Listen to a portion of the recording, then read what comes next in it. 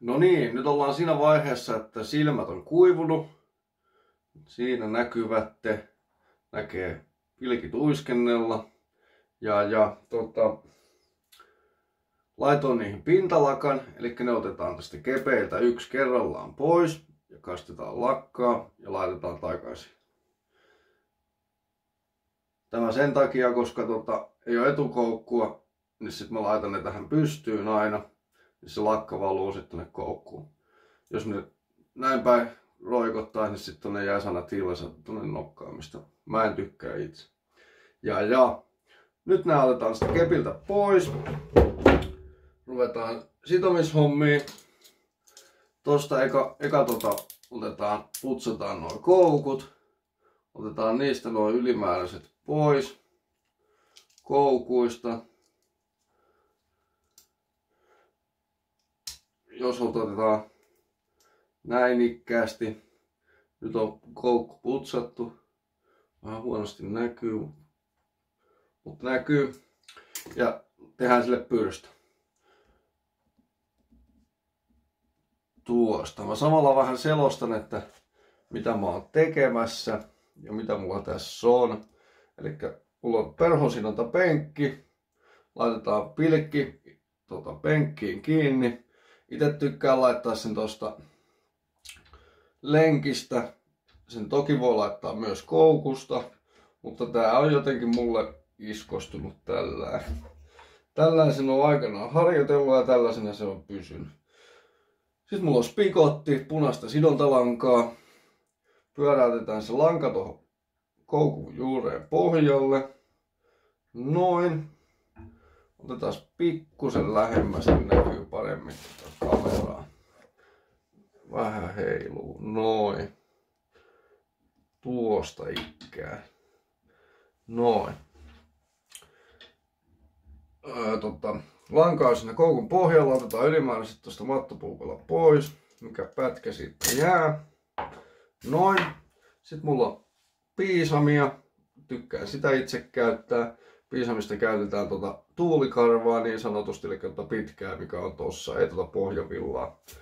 Sitten nypitään tuota karvaa pikkasen vastakarvaan, kun sitä tällainen nyppii, niin se lähtee oikein kivasti irti.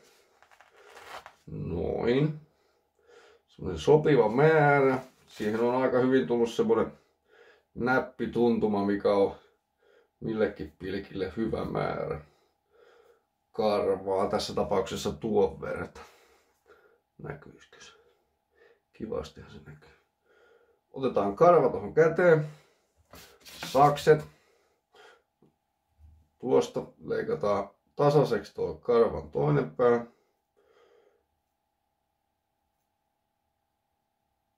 Mm. Noin ikkäästi. Sitten laitetaan tuohon koukun juureen tuo karva. Pyöräytetään pari kertaa. Tosiaan tää mun tyyli on ehkä vähän outo ja hankalampi, kun tässä joutuu tuossa pikottia pyörittämään tällä, mutta niin kuin sanoin, että itse on tottunut sen tekemään näin. Nyt meillä on se piisamin karva tossa. Mä käytän tavallista pikaliimaa, Loctitea. Tää on veden, vedenpitävää ja tää on todettu hyväksi tässä hommassa. Laitetaan tuohon pyrstön juureen pikkasen. Se sitoo sen kiinni tuon pyrstön tuohon kivasti tuohon pilkkiin, että se ei pääse siitä sitten niin helposti lähtee. Sitten voidaan vaihtaa kättä ja heittää useampi pyöräytys tuohon noin. Nyt kun tää on tämmönen niin sanottu vedenmessujen erikoisuus kirrepilkki, niin mä laitan sinne vähän tota tinseliäkin tosta. Taitetaan se tosta nelinkerroin se tinseli. Noin. Ja laitetaan tohon pilkin päälle. Sitten pyöräytetään se tonne sekaan.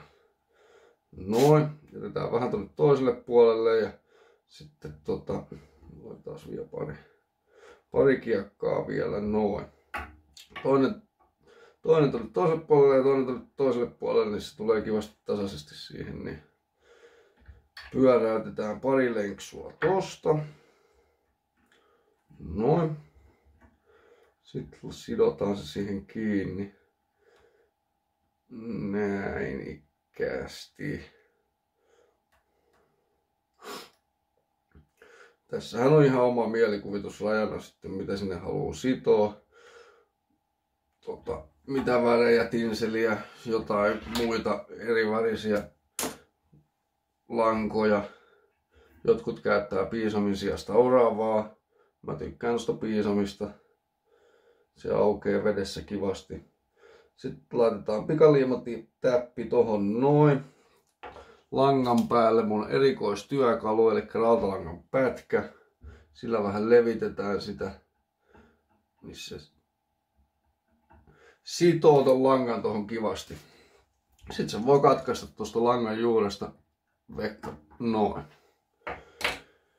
Sitten meillä on siinä nyt on noin ylimääräiset, ylimääräiset noin tinselin pätkät, niin, niin mä oon leikannut vähän tuollain vinosti, että ne tulee vähän eri tasoille, ettei ne ole ihan tasaisesti siinä